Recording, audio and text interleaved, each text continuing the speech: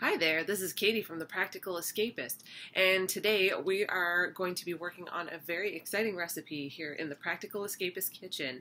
This recipe is from a movie that is very near and dear to my heart, Kiki's Delivery Service. It's been one of my favorite movies since I was a kid, and today we're making herring and pumpkin pot pie.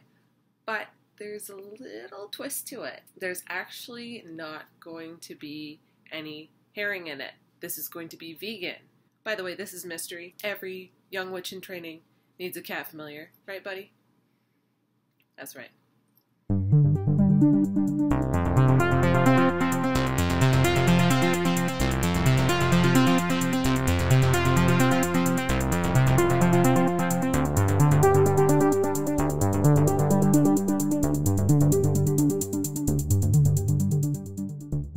So let's take a look at our ingredients here. We have some flour, some coconut oil, and we're also going to use some salt for our crust. We're making a vegan puff pastry crust. Here we have some capers. Now, most recipes I've seen have used black olives. We're going to be using capers today for two reasons. One, I like capers, and two, I actually think that when you look in the movie, it looks more like capers than olives. That's just me. A lot of other people have used black olives instead, so maybe that's actually a canon thing. For the actual herring part, we're making chickpea fish. So we're going to take chickpeas. We have a can of chickpeas. You can also use cooked chickpeas that you made yourself. And uh, we're going to use some nori. Now, we just have this roasted seaweed snack nori here. You can also use regular nori, and that's totally fine to do. This is just what we happen to have on hand, so this is what we're using. We have some oil. We have a tin of pumpkin, which is pureed. It's pure pumpkin. It is not pumpkin pie filling. Very important difference. We have a little bit of, uh, this is actually just generic vegetable soup base. We're going to use a little bit of that. We have some potatoes. We're going to be using those skin on. One onion, three carrots. Two of them are quite small one of them is large. And a celery stalk. And spices to taste, including some nutritional yeast. We have some oil as well. So those are all our ingredients for what we're going to be doing today. Begin by preheating your oven to 400 degrees.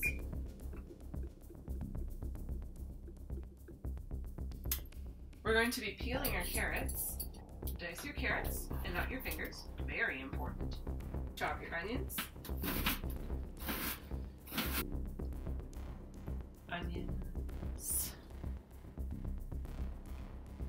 There we go.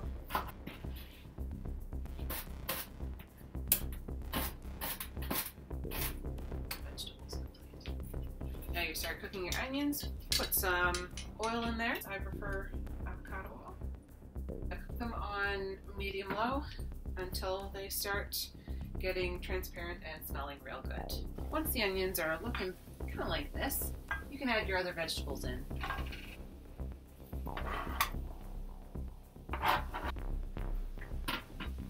Let the vegetables do their thing for a little bit. You might want to add a little more oil.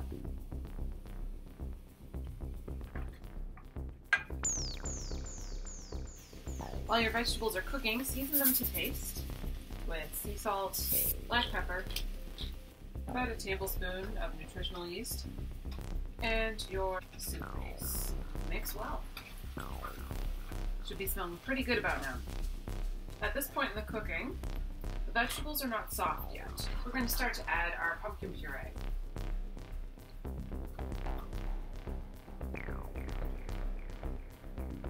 Stir it in until you have a nice kind of pasty vegetable mix.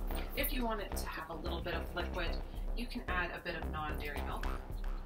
Here I have some unsweetened coconut milk. I'm going to add just a little bit more.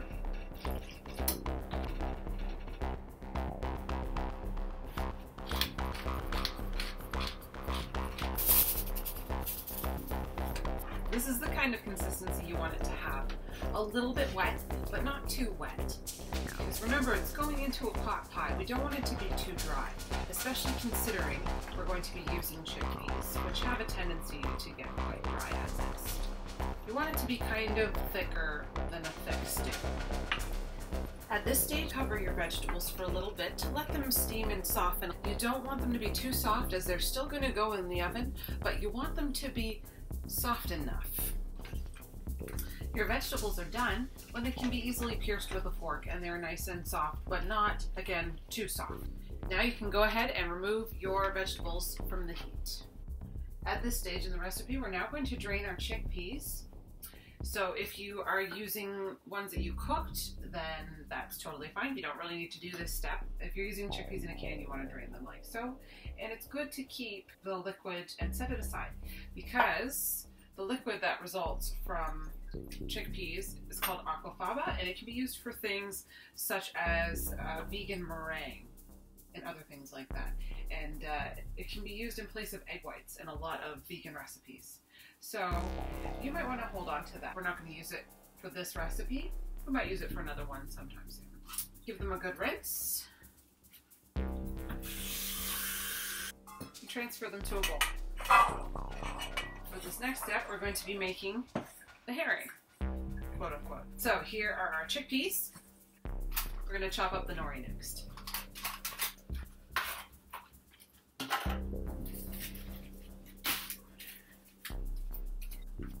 So if you have a single sheet of nori, you can go ahead and slice that up on its own.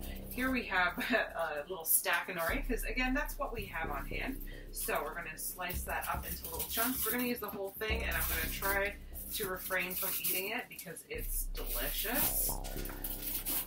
You want to slice that into little tiny, tiny itty bitty pieces because this is what's going to give us our fishy flavor.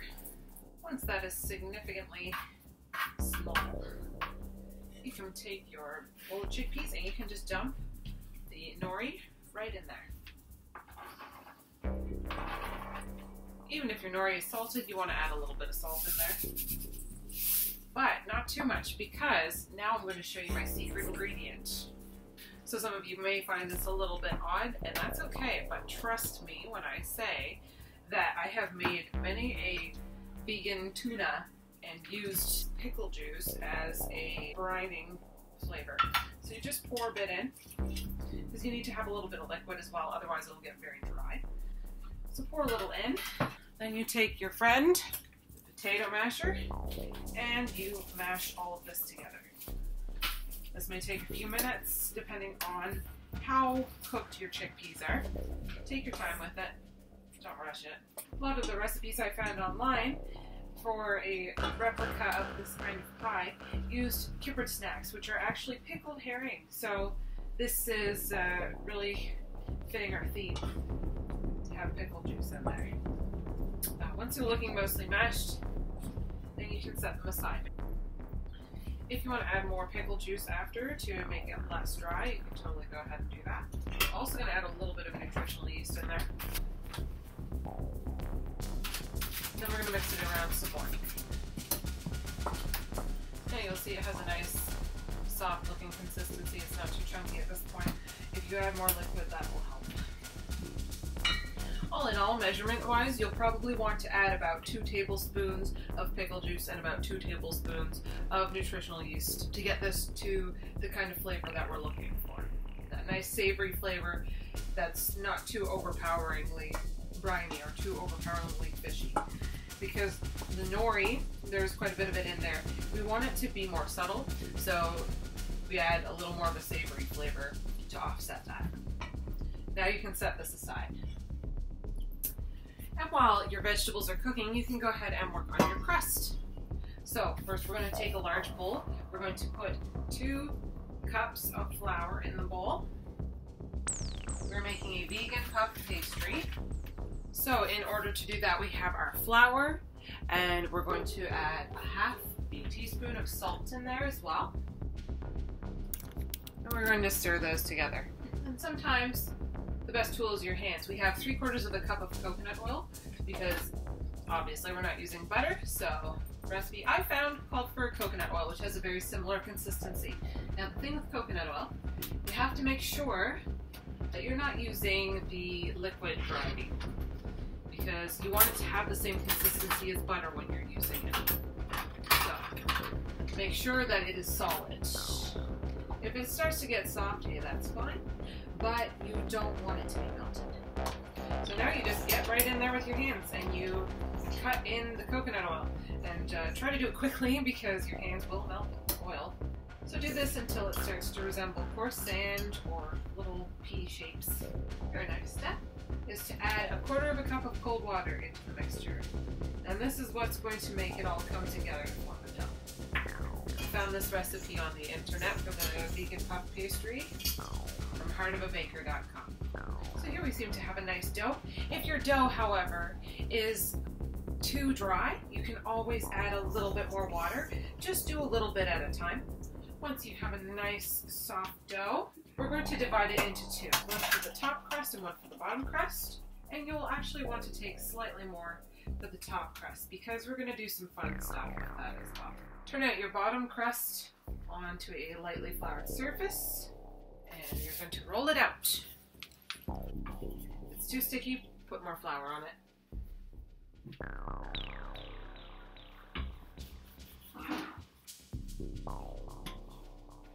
And once it's done, transfer to a lightly greased baking pan.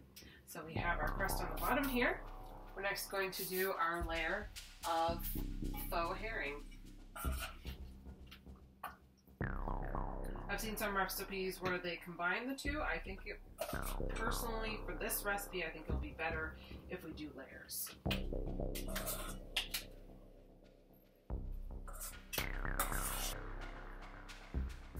Once you have a nice uniform layer of your fake fish, you can go ahead and top it with the vegetables next.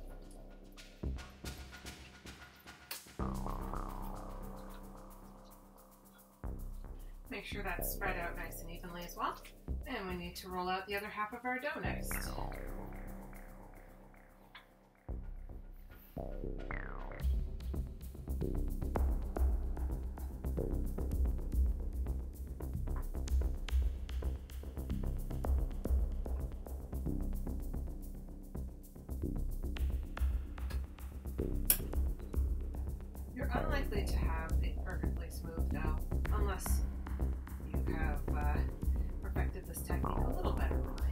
Pastries and baked goods are not my specialty. I've said it before. If you've heard me on stream ever, then you know this for a fact. They don't look great. So if it looks like this, that's okay because we have our pièce de résistance. And this is very important if you're trying to make this uh, true to the Kiki's delivery service look. So we have some dough that we reserved here. We're going to roll this out. We gotta make a little fish for the top.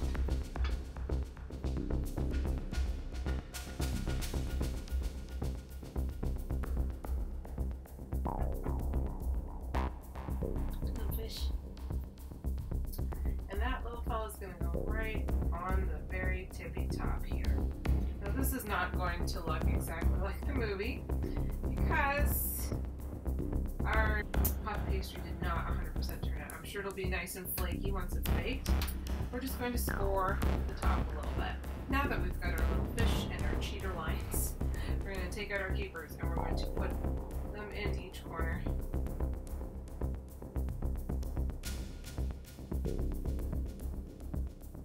So now our little fake fish pie is ready to go into the oven. Looks cute, if a little messy, huh? We're in the oven, and now we're going to leave it for about 20 minutes or so. And we'll come back to it and see what happens. So that ended up being a little closer to 30 minutes, but we have it finished now. I did a little trick and I put it under the broiler for the last few minutes just to give that upper crust that kind of brown look that's visible in the movie. So here's how it turned out. It's not going to win us any great British Bake Off contests, but it looks alright.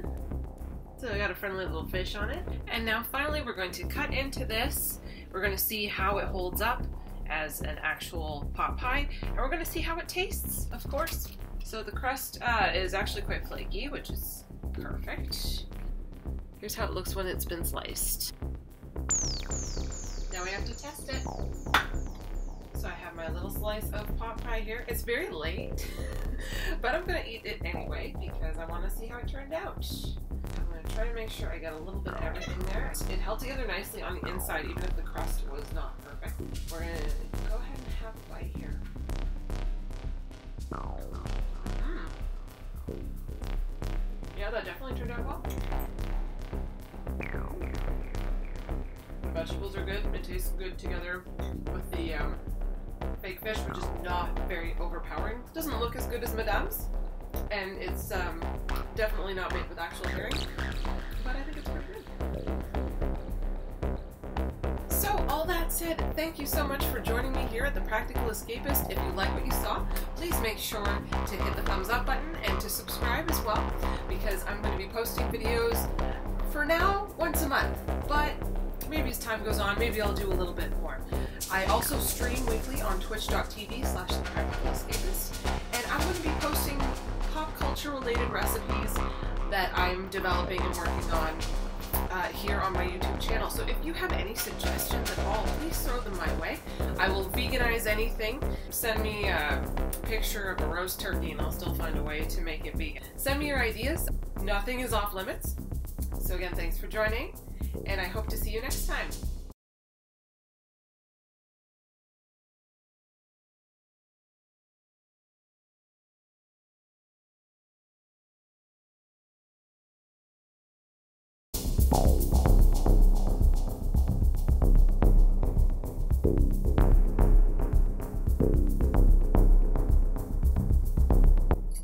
We're peeling the carrots in this instance, but we're going to leave the